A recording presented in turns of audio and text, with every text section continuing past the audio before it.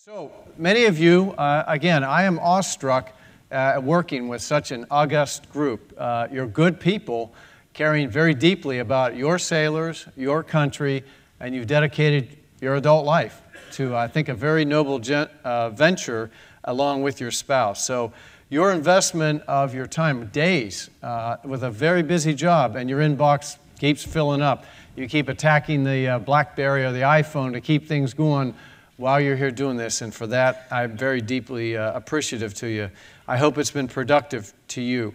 Uh, remember, we're part of a, a global network. Uh, there are global solutions out there.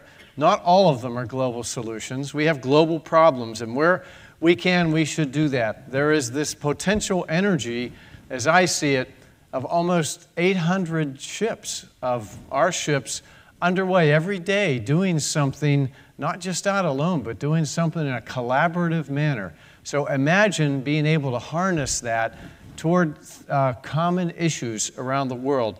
And that's sort of the, the dream I have. My predecessor, too relieved, came up with this idea of a thousand ship navy.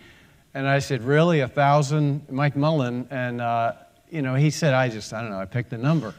But it's almost a reality from the perspective it's tangible. So I, I ask you to kind of keep that in mind. Uh, as what brings us together, try and think about that, or maybe remind yourself we are so different. We have languages, cultures, histories, governments, and then that's politics, and then that's policies, and they're, they're all very different. But we have that common environment. Like our sec- my Secretary of the Navy said, we don't look down for the border that separates us and make sure we understand where that, you know, where are we separated and how far can I go? We look out there to see what's possible and what we can do. That's the sea. We have common interests, we have common responsibilities, we got a lot of common challenges. They were laid out very clearly in the regional breakout, and I thought you all did a great job uh, in the regional break, the summaries from the regional breakout. So, my view is that the regions pretty much have a pretty good grasp on what the relevant issues are for them and what they want to do. Now, some of that they said, well, this is larger than the region. I'll share with you a few of the things that I took away that, that I think we've agreed to, or, or at least I'll tell you, I've agreed to take on here. Uh, one is cyber. We've got to, in my view, study this thing and see how does that apply to the collective group here.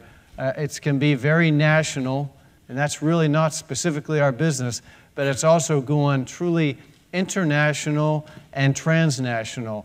And so I, I really appreciate Amalay agreeing to, uh, when we do IMDEX here, those of us that will be there, and he'll invite the whole group here, that we take this on and get into uh, some substance of that in Singapore next May for in, the interested panel members that will be there.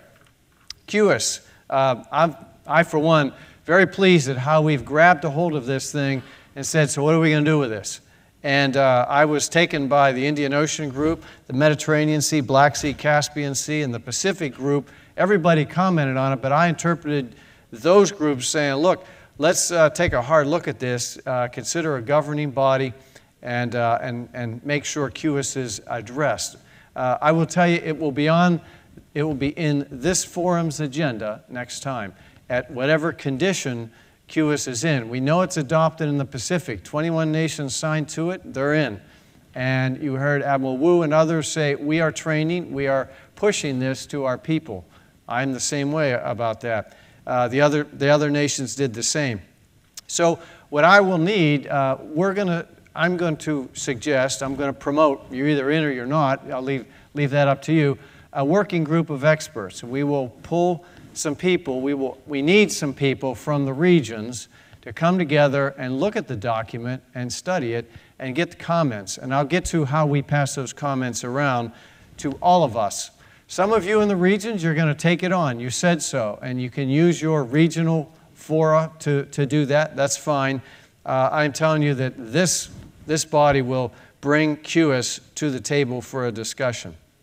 So, more on how we'll get uh, that that, uh, that working group going.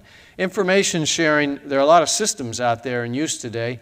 Uh, I think we need to continue to nurture and see how do we get these documented and cataloged so that people can plug and play. that, that we take these information systems to the lowest common denominator so that we don't get tripped up in a lot of interoperability uh, memoranda of agreement that we can't get by policies. Now, that may require a regional approach, and I understand that, but if we can catalog that, then folks can go reach out to them and say, How does this thing work? It seems to work so well in the Atlantic region, seems to work pretty darn well in the Indian Ocean region, maybe, perhaps as an example. So, how do we allow everybody, Gulf of Guinea, et cetera, to take aboard that uh, what they can? It was suggested on the first day that we post best practices somewhere, that we take, for example, where are we on CUES? Take, for example, where are we on information sharing? And put it somewhere so people can read it, so you all can get to it. So the War College here, this, this Naval War College, will build and populate and provide for you the access to a probably web-based lessons learned site, uh, a, a repository of best practices and sort of status. Uh, what we'll do is we'll build it here. Gardner, you know how long that'll take? Do you know approximately how long that'll take? All right. So we'll have this done certainly well within six months, where we'll have that built and we'll get out to you. Uh, we will need contacts, but there's a lot of contacts here uh, to get to you. And by the way, the fact that you've registered here, we, we have a point uh, to get that data out to you. And then we will allow you to have access uh, to this site where we can continue to, to get to that.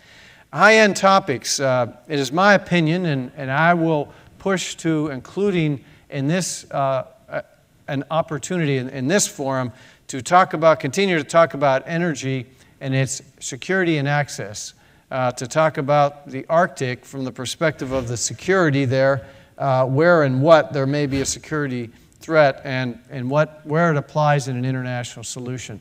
I think the fact of the matter is, ladies and gentlemen, there is ice there today, and it's going to be an ocean tomorrow, and it's going to be sometime. And uh, we're going to have to deal with it. And we ought to understand uh, and shake out the implications to a point uh, that, we that we are satisfied for that. There may be other high end issues that we talk about, but those are two that I think are, are worthy of it.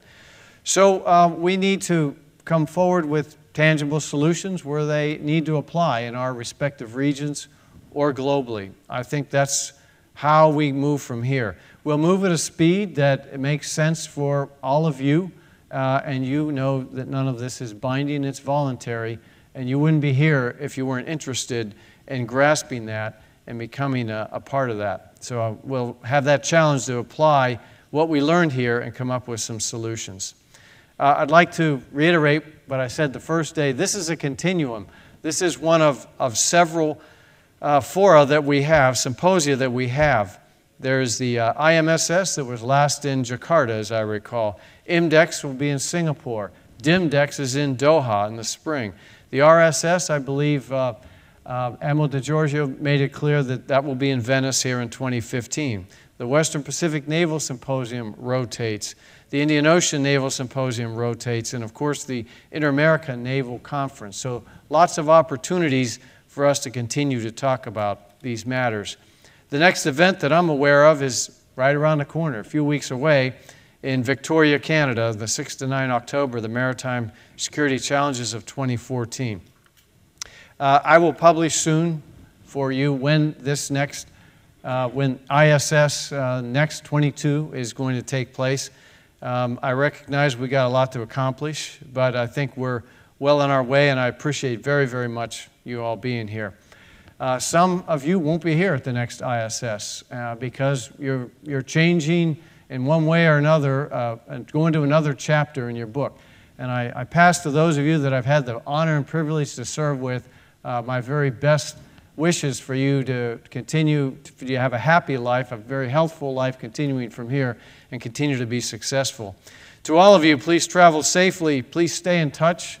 And remember, uh, trust and confidence are the key words here. Um, my very best to you. And uh, as Admiral DeGiorgio passed along, I say the same. Fair winds and following seas to all of you. Thank you very much.